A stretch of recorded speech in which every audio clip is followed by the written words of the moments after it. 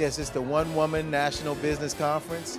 It's a two day national conference where we bring women business owners together, along with male, men uh, business owners or uh, males in particular, to have a, a season of refreshing and highlighting many of the things that need to be done to uh, enhance their businesses and to grow and take their businesses and themselves to another level. This has been so important to us because, as women especially, we need to take the opportunity to understand what could be afforded to us and take the opportunity to um, enrich ourselves, not only just for today, but for the future and for our daughters as well. And I am here at the One Woman Conference uh, put on by the Texas Business Alliance just to promote women owned businesses here in the Houston community.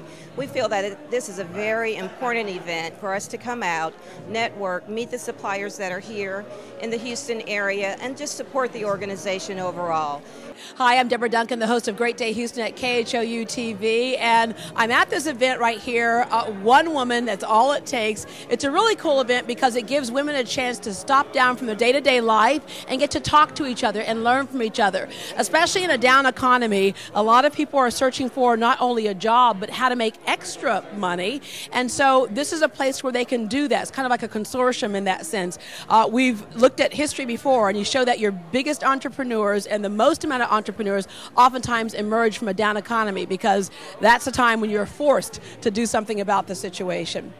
This is a great event that's being put on. Uh, the Texas Business Alliance is a very important organization. You got people here from all over the state of Texas, African Americans, Latinos, women, all sorts of small and medium sized enterprises, businesses. People are learning all the fundamentals that it takes to get a business going and keep it going. And then even some fun stuff like how do you have a relationship while you're trying to be an entrepreneur. This is a really great place for people to come, and uh, I look forward to getting as many people out here as possible. So for so for everybody out there who's thinking about starting a business, growing your business, it's time to come down to Texas Business Alliance and join up. The Texas Business Alliance is really one of the premier organizations to help people figure out how to grow their businesses, get them off the ground, and be successful. Congratulations to the Texas Business Alliance. That you're here at the Women's Conference is just wonderful, and I'm thrilled that I'm here too.